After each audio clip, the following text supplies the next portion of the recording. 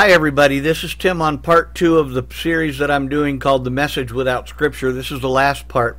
I'm going to suggest if you didn't get an opportunity to watch part one that you watch that. We're going to build on that a little bit here. But we're always going to do this the same. We're going to use Isaiah chapter 28, verse 10. For precept must be upon precept, precept upon precept, line upon line, line upon line, here a little and there a little. We're also going to use 2 Corinthians chapter 13, verse 1 in the mouth of two or three witnesses shall ever a word be established. So we're going to take a look real quick at a, uh, and, and by the way, this is the message without scripture. What prompted this is I asked people to send me videos of message ministers, uh, and they basically sent a lot of videos. Wow, I got a ton of videos. We're, this is going to be very video intense again today. We're going to watch uh, Benjamin Seabolt the the video clip I'm calling it "What is the secret of the message?" and we'll take a look at that, uh, and then we'll come back and address that real quick. As always, links to the videos are going to be in the description up here. Also, you're going to have the study notes for the second part are available up here. Any links to anything like there's a photo down below and some links to a website. They'll all be available for you in the description. All right, but let's take a look at Jason Seabolt and let's take a look at his video. Here he goes, Jason Seabolt. I'm calling it What is the Secret of the Message? Here we are. Brother Branham said the secret of the message was to be about the Father's business, and the Father's business was to fulfill the Word of God. And then he gives us our instructions of what we must do to be about the Father's business. And he says our instructions are to vindicate Malachi 4, to vindicate Luke 17 30, to vindicate Hebrews 13 8, St. John 14 12, all of his word, Revelation 10 7, the opening, the seals, and the mysteries of God. I'm going to make it real plain for you, saints. We know there's an attack on this message. We know there's an attack on the prophet. There's an attack on the cloud. There's an attack on this vision. There's an attack on that vision. There's an attack on this situation. We are not to try to refulfill those things. We are to vindicate and to clear and remove all suspicion or false blame, and to show and to prove that which has been said to be right reasonable, and justified. And here's the thing we're to do that without ever uttering a word. Because if you utter a word, they can utter more words. If you argue, they can argue back. If you get facts and figures and clippings and whatever else, they can get more. What they can't argue with is the vindication of a lived life. Because deep down in their heart, they will know I can argue all that I want to.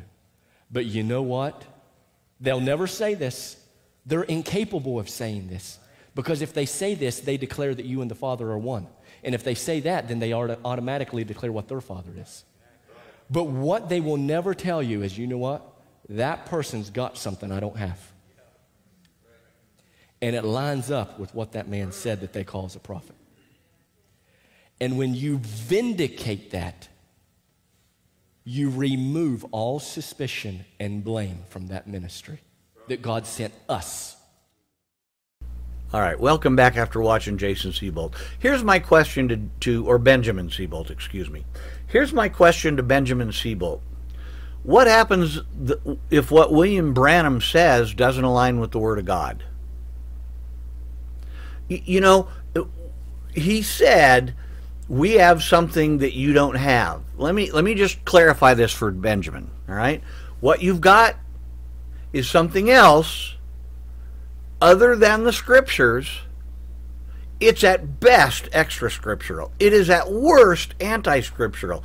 And I don't want it because I'm very clear in Revelations, the last chapter, where we hear John the Revelator say, if you add a word to the book, there are dire consequences.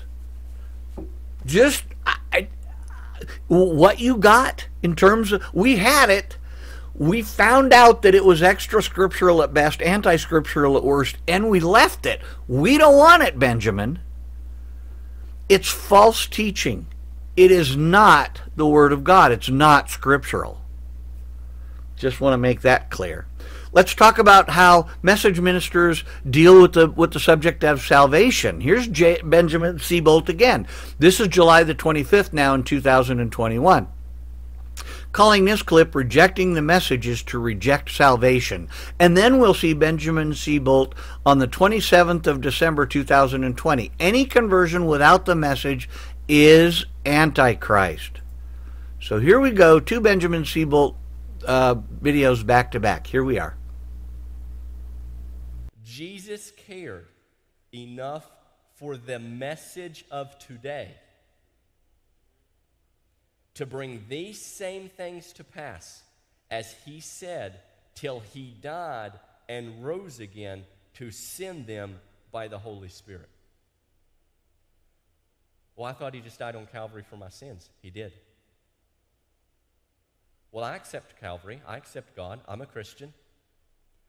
The prophet of God said Jesus died on Calvary for this message. So if you try to tell me that you can set this message aside but yet still accept Calvary, it doesn't line up.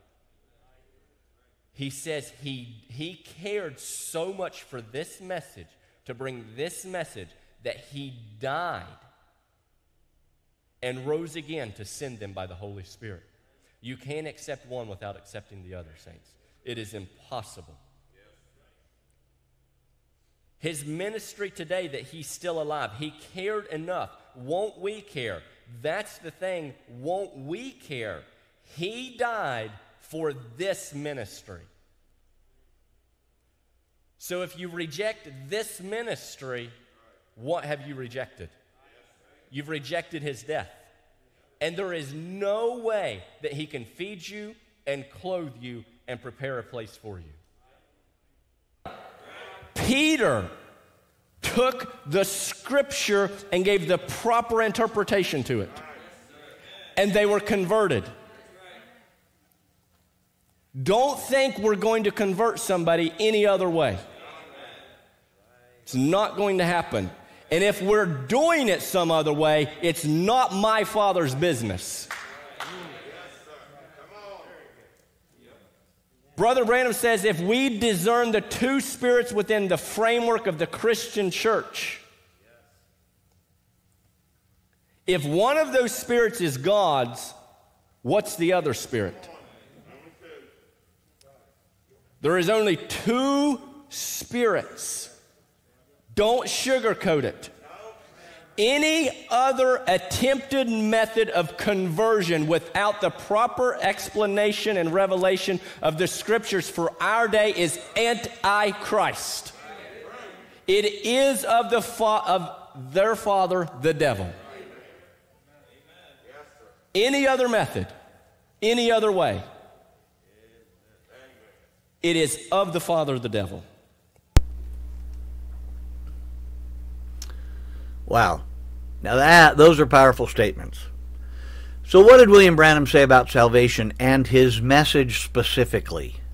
We saw in part one where William Branham talked about two stratifications of Christianity. One of them was the bride that will be taken into the, ra- the rapture, the other was the church nominal. We also saw how Paul didn't talk about two stratifications of church and bride. He talked about everybody who believes in the Lord Jesus Christ for their salvation, they will be taken up into heaven. So we know that the stratification of Christianity is not scriptural according to Paul. And didn't Branham teach what Paul taught?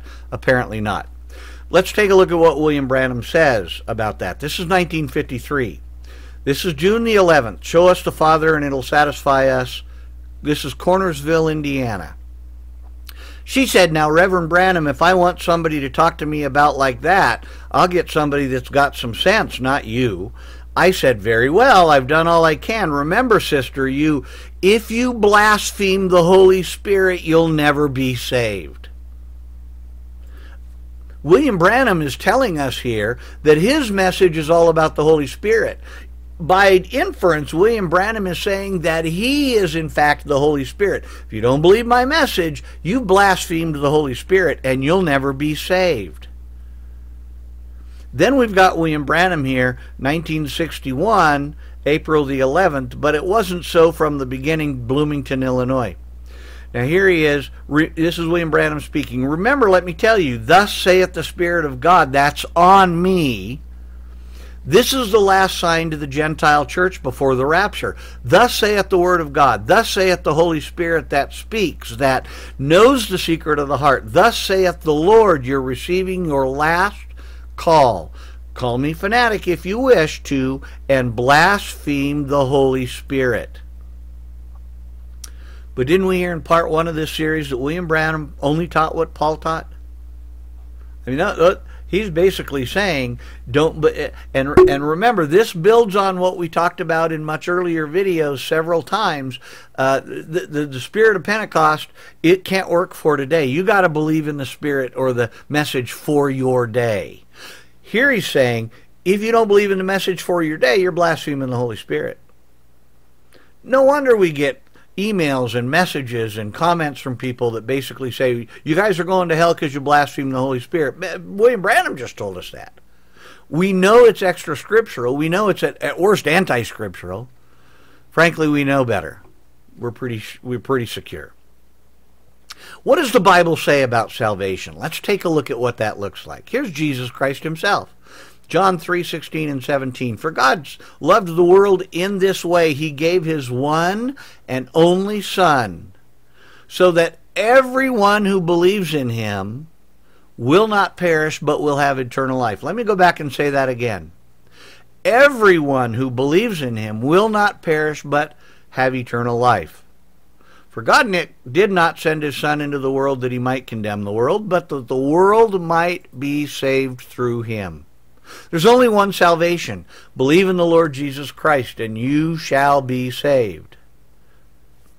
Here's, here's Jesus again telling us in John 6 44 No one can come to me unless the Father who sent me draws him, and I will raise him up on the last day. Believe in the Lord Jesus Christ. You will be raised up on the last day. I will raise him up on the last day. What did Paul tell us? Paul told us the de- dead in Christ will rise first to go up and meet God in the air. The dead in Christ will rise first. Here we have Jesus telling us the same thing. And I will raise him up on the last day. Jesus, we have John 14, 6, Jesus here. Jesus told him, I am the way, the truth, and the life. No one comes to the Father except through me. Who is William Branham? If Jesus Christ is the way, the truth, and the life, and nobody comes to the Father except through him, why did William Branham say that you needed to accept the message for your hour? You needed to be bride separate from the nominal church right? Why do message ministers say, without this message, you don't have any salvation? Didn't we hear Benjamin Seabolt said rejecting the message is to reject salvation? Didn't we also hear him say any conversion without the message is antichrist? Wow. Unbelievable. Here we've got Peter. Peter tells us in Acts 2, 3, 37 and 38, this is a common salvation. When they heard this, they came under deep conviction and said to Peter and the rest of the apostles, Brothers, what, what must we do? Repent, Peter said to them, and be baptized, each one of you, in the name of Jesus Christ for the forgiveness of your sins, and you will receive the gift of the Holy Ghost. If you receive the gift of the Holy Ghost, you are going to be taken up, as Paul calls it, in the rapture you notice here that it doesn't say you'll receive the Holy Ghost, and then if you're alive in the time of the next message, you have to believe in the message for your hour. That's not what Peter says. Here we have Acts chapter 4, verse 9 through 12. Peter again says, Now he's talking because he had been put in prison He's talking about, he, they're defending themselves in terms of what they actually did. Here he is, Acts 4 9 through 12. If we're being examined today about a good deed done to a disabled man, by what means he was healed, let it be known to all of you and to all the people of Israel that by the name of Jesus Christ the Nazarene, whom you crucified and whom God raised from the dead, by him this man is standing here before you healthy. This Jesus is the stone rejected by you builders, which has become the cornerstone. He's talking to the Jews now who rejected the ministry of Jesus Christ that's a great reason why Jesus went to his disciples and said, Go unto all the world, the Gentile world, and make disciples of them all. This is salvation in no one else. For there is no other name uh, under heaven given to people, and we must be saved by it. Uh, that pesky Apostle Paul. Here we have the Apostle Paul. Man, I'll tell you, didn't William Branham teach what Paul taught? Well, doesn't look like it. Let's see what the Apostle Paul taught. Here's Acts 16, chapter 30 and 31. We know this story. This is when Paul was in jail. The earthquake happened. The jail broke open. They stayed where they were. The jailer was going to kill himself, etc., etc., etc. Here we have Acts chapter 16, verses 30 and 31. Then he escorted them out and said, Sirs, what must I do to be saved? So they said, Believe on the Lord Jesus, and you will be saved, you and your household. Romans chapter 10, verse 9. Here we go again with the Apostle Paul. If you confess with your mouth, Jesus is Lord, and believe in your heart that God raised him from the dead, you will be saved. And didn't Paul tell us in our in the letter to the Thessalonians that the saved, that the first the dead in Christ and then those who were saved will be caught up in the air? He didn't talk about uh, uh he didn't talk about those guys will be saved all right, but they're not going up into the rapture. Only those who believe the message of their hour are going in the rapture. See, that's not what Paul said. He said the dead in Christ will rise, they'll go first, and then those who are saved will go up and they will meet the Lord in the air. Here he is again in Ephesians chapter 2 verses 8 and 9. For you are saved by grace through faith, and this is not from yourselves, it is God's gift, not from works, so that no one can boast. In other words, if you do things like we've got to wear certain clothes because those are the only thing that are acceptable, if we do because we got to do works, right? We got to do that. We have to obey certain of the Mosaic law, but not other Mosaic law. Don't cut your hair. You know, where hey, if you're led to do those things and to not cut your hair and to to wear clothing like that, that's entirely up to you. But it does not make you more holy. If the Holy Spirit leads you to do that, great. But it doesn't make you more holy than someone who chooses to cut their hair or someone who in fact wears clothes that, that you may not wear. Nor are the people that cut their hair or wear clothes that you may not wear, nor are they more holy either. Okay? Because it says right here, this is not from yourselves, it is God's gift, not from works so that no one can boast. What is boasting about? I'm better than the other person over here. I'm a different status than the other person over here.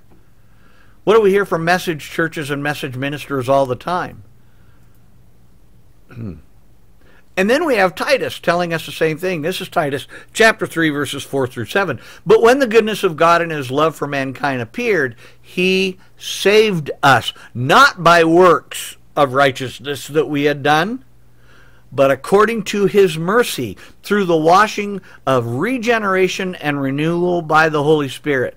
He poured out his Spirit on, on us abundantly through Jesus Christ our Savior, so that having been justified by his grace, we may become heirs with the hope of eternal life. Jesus Christ, not the message for your hour, not the spirit that's not adequate for today, which was on Pentecost, or excuse me, the, not, not in the spirit that's that for this day, as opposed to the spirit that was for the day of Pentecost. If the spirit of the day on the day of Pentecost is sufficient to get you to the rapture, then what's the spirit of the message? Here we have confirmation from Peter, from Paul, from Jesus Christ himself, from Titus that tells us you're saved through Jesus Christ and that Holy Spirit. That's sufficient for being saved. That's sufficient to take you up into the rapture. So if that's true, and William Branham says that there's a different spirit for the message of your hour, which spirit is that? Just a, just a thought.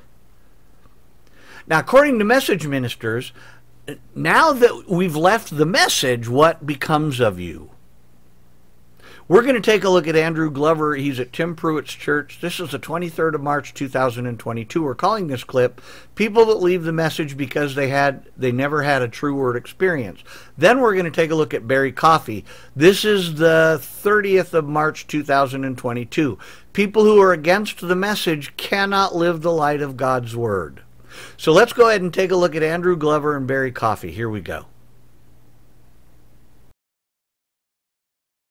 Amen. I know that we're living in a day and time when there's such a falling away. The prophet of God would say this way. We find today that there's such a falling away. It seems to be that people are not interested like they used to be. He said they're falling away from the fundamental facts of the Bible. He said they seem to be drifting. Isn't it a sad thing that we're living in a day and time when we're this close to the rapture? Amen. And people are throwing in the towel and giving up. Isn't it a sad time when we're this close to, amen, to the future home and the millennium of the church? Amen. That people are growing weary and they're walking away. And there's a question that always comes up when you hear that somebody has left is why did they leave? How could they do that? Amen. Can I give you the answer? It's because they never had a true word experience. Amen. They went out from us because they wasn't of us. The Bible said they cannot live in the light of the word. Now, let me stop and say this because I, you know, I've, I've heard this verse misused quite a lot. Some people say, you know, if they leave a church, oh, they went out from us because they were not of us. You know, they could easily very well be believers, but something might have went wacky. Something they might have been offended, or something happened that was, uh, you know, um, out of season for them. And uh, I mean, there are people even who leave churches and, and move on to another area because they're led to do that. So we can't always say that because somebody's not in this church, oh, they went out from us because they're not, they're not of us. I will say that people that would walk away from the truth and build a website against it and begin to attack it and throw mud at it, discredit the prophet, discredit uh, the people who follow it, those are people who cannot live in the light of God's word. All right. Now, what does the Bible say about those who live in the salvation of God? Let's take the example of judgment, for instance. William Branham and his ministers teach that the bride, the bride, is separate from the church. We just saw that in clips up above, and we talked about that in the scripture although we didn't find that in the scripture. So, what happens when those who are saved by Jesus Christ, their Lord and Savior, are raptured by Jesus Christ? Okay, here's John chapter 5, verse 14. Jesus Christ again, I assure you, anyone who hears my word and believes him who sent me has eternal life and will not come under judgment, but has passed from life to death. Now, here William Branham, uh, message believers and message ministers, will say uh, that, that he here is talking about William Branham as well. Okay? Didn't we hear, as a matter of fact, uh, and we're going to hear this very quickly. But we we were didn't we hear that we're going to hear somebody say that that Jesus Christ died for this message. But here, that's not what this says. I assure you, anyone who hears my word and believes him who sent me, me, not William Branham, has eternal life and will not come under judgment, but has passed from life to death. Will not come under judgment, but has passed from life to death. Here we have Acts chapter 10, verses 42 and 43. He commanded us to preach to the people and to solemnly testify that He is the one, He, Jesus Christ, speaking of Jesus Christ, He is the one appointed by God to be the judge of the living and the dead.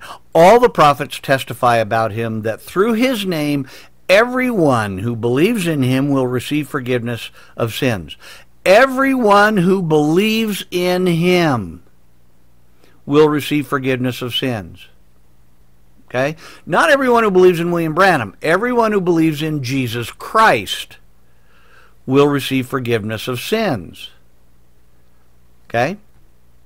Here's Romans chapter 3 verse 23 through 26. For all have sinned and fall short of the glory of God. This is Paul speaking. They are justified freely by his grace through the redemption that is in Christ Jesus.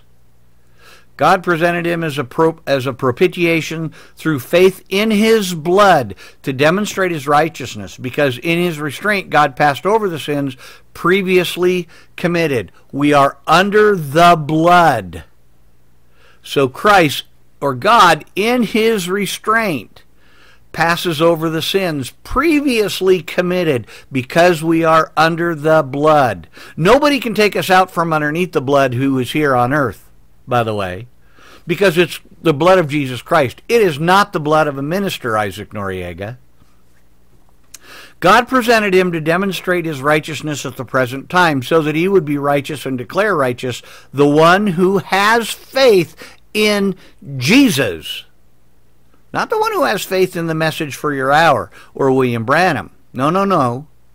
Here's Paul again in Romans chapter 5, 8 through 11. But God proves his own love for us that while we were still sinners, Christ died for us.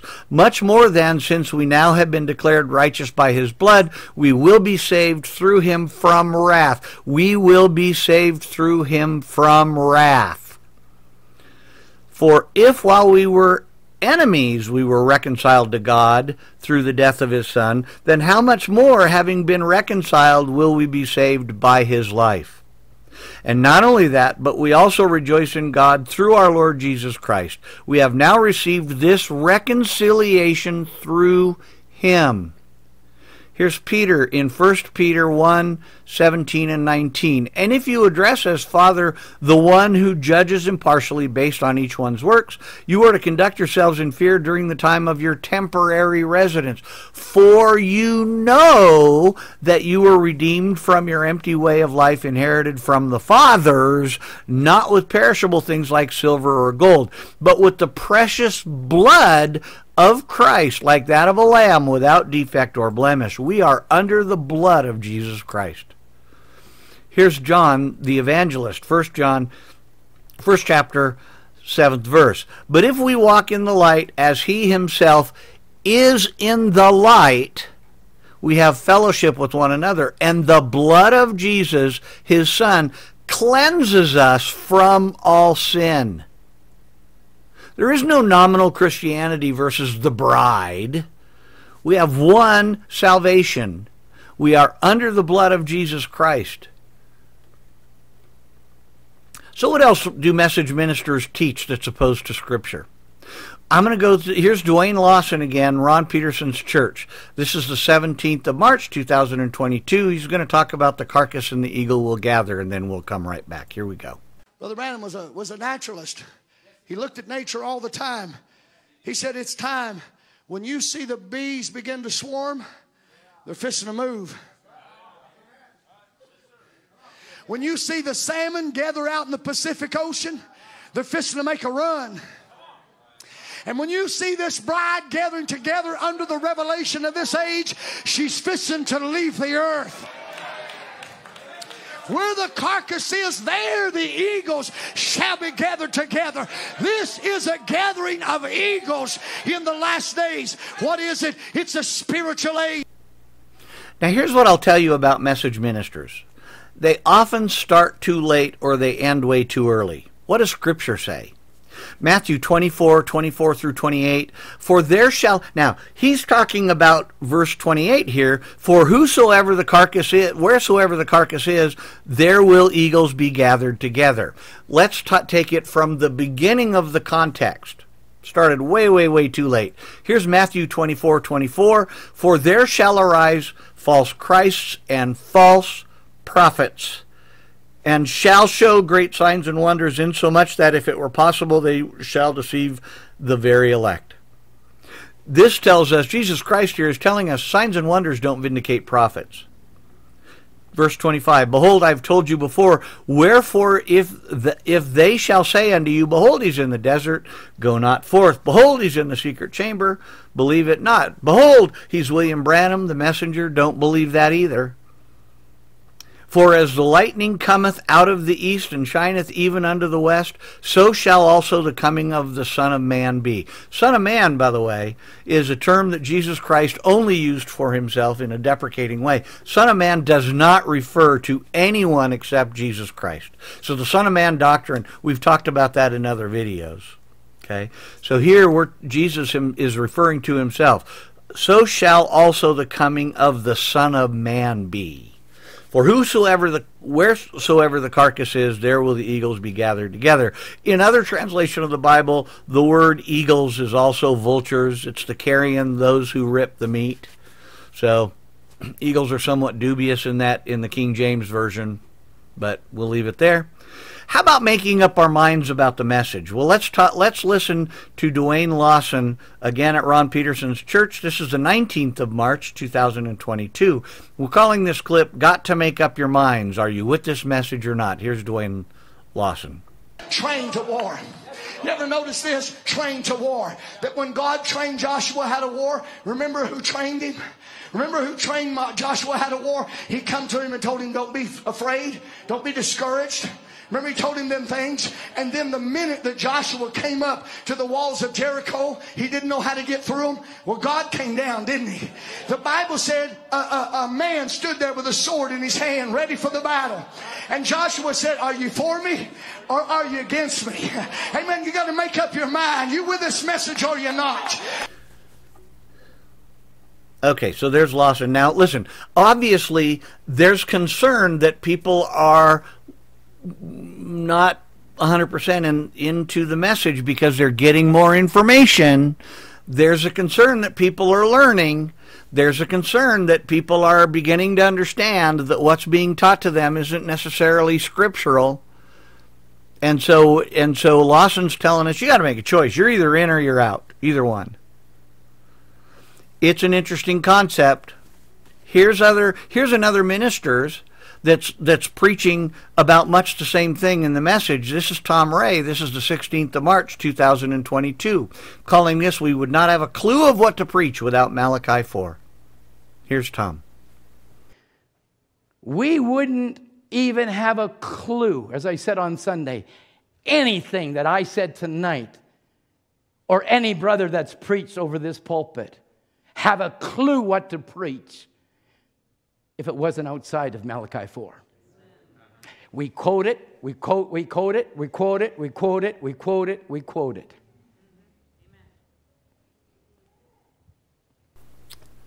Hey, hey, hey, Tom.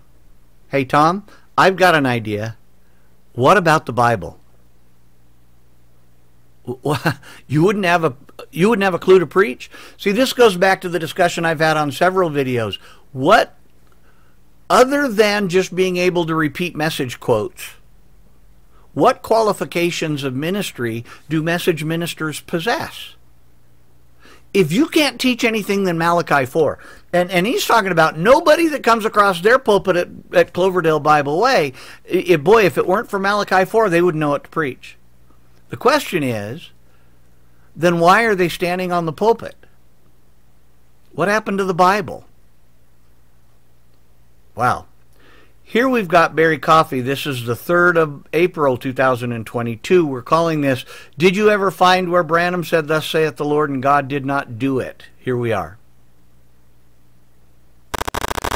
So, in all of your learning and of all of your years of experience in the message, do you ever find where Brother Branham's comments and statements became a reproach? Because he was saying something that God never did and God was not true? have you ever found anything where Brother Branham said God's going to do something, thus saith the Lord, and then God didn't do it? No. because God ordained his ministry for this last day, right? Are you following me? God. Well, yeah, Barry. Yeah, yeah, we have. How about the Brown Bear Vision? What about the South African campaign? What about healings that we've talked about in other YouTube videos? I'm gonna, I put some clips of some YouTube videos in the in the uh, description down below and also in the study notes. See, here's how we know that somebody doesn't qualify as a prophet of God. Here's Deuteronomy chapter 18, verses 20 through 22. And all of those things that I just described Brown Bear Vision, South Africa Vision, the healings under Thus saith the Lord 1,616 times in 1,100 sermons, which did not come true. Here is Deuteronomy chapter 18, 20 through 22. But the prophet which shall presume to speak a word in my name which I have not commanded him to speak, or that shall speak in the name of other gods, even that prophet shall die. And if and if thou say in thine heart, here's the question, how shall we know the word which the Lord has not spoken? Here's God's answer. When a prophet speaketh in the name of the Lord, thus saith the Lord 1,616 times, if the thing followeth not, nor come to pass, that is the thing which the Lord hath not spoken, but the prophet hath spoken it presumptuously, thou shalt not be afraid of him. Here is 1 Samuel 3. Uh, 19 through 20, and Samuel grew, and the Lord was with him, and did let none of his words fall to the ground. And all of Israel, from Dan even to Beersheba, knew that Samuel was established to be a prophet of the Lord. How did they know? Or who knew the nation of Israel? How did they know? None of his words fell to the ground. None of his words fell to the ground. They were all true. Finally, we're going to show some interesting information here. This is there's a new message. Everybody should be excited about this. There's a new message church in Texas. Now, the New Message Church in Texas is a Reverend Junior Brumbach. I'm going to show you the picture that's on his website. Do you see anything interesting about this picture? There are two pictures of William Branham with the, the, the light above his head at the Houston Coliseum, the ceiling light which hit his head. Okay? Uh, they, the, the pillar of fire photo, whatever they call it. Here, this guy is standing behind the pulpit with both of with with the only thing behind him are those two pictures of William Branham. Let's see what and I and I left a link so that you can get this directly from his webpage. Don't believe me? Go look at his webpage. Here's what it says on his webpage. Quote, Reverend Junior Brumbach has a pleasure to announce to all the Branham across the word, world that our church, Mission Evangel- Evangelical Branham Church of Texas, has finally opened its doors to the public. Let's go back and, and take a look at that name of the church again Mission Evangelical Branham Church of Texas. Mission Evangelical Branham Church of Texas is legal rec- legally recognized by the state of Texas as a legal entity, and it's also certified as a nonprofit organization. Our mission here to the United States, there's some misspellings. He's obviously not from the United States. English is obviously not his first language.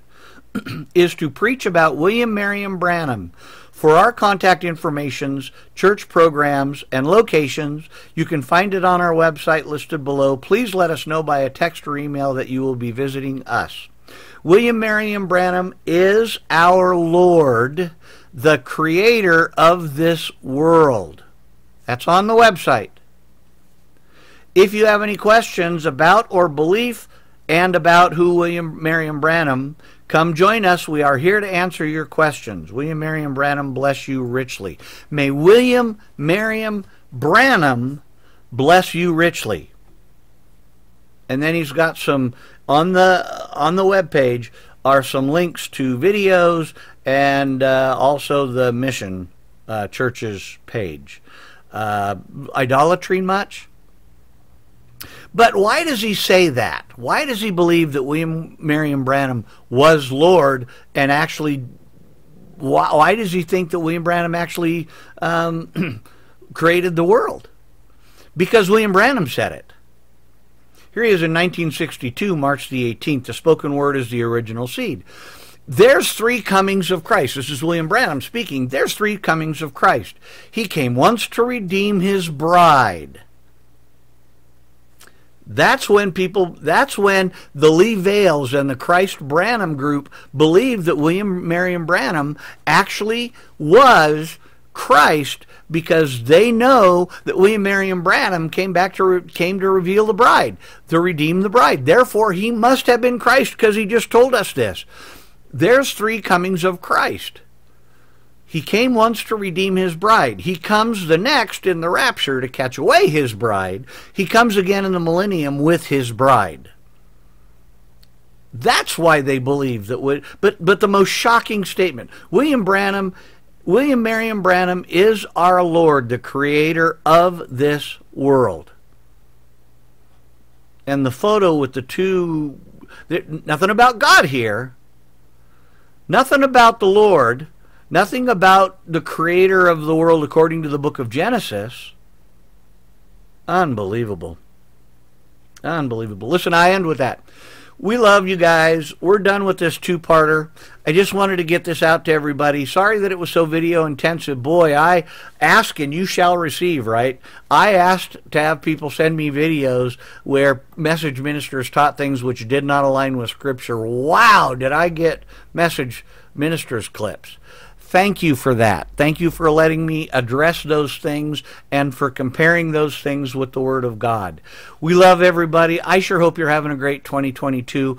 Please go out and watch the videos that are available on the Seven Seals. Rod's doing a fabulous job talking about where the seals actually came from. And again, if that's William Branham's value add, is that he opened the Seven Seals, boy, there's an issue, isn't there? God bless everybody. If you have any questions, the end card's going to tell you about how to get in contact with us. We love to hear from people. We just enjoy talking to you. Anything else we can do for you, let us know. God bless everybody and have a great year. Bye bye.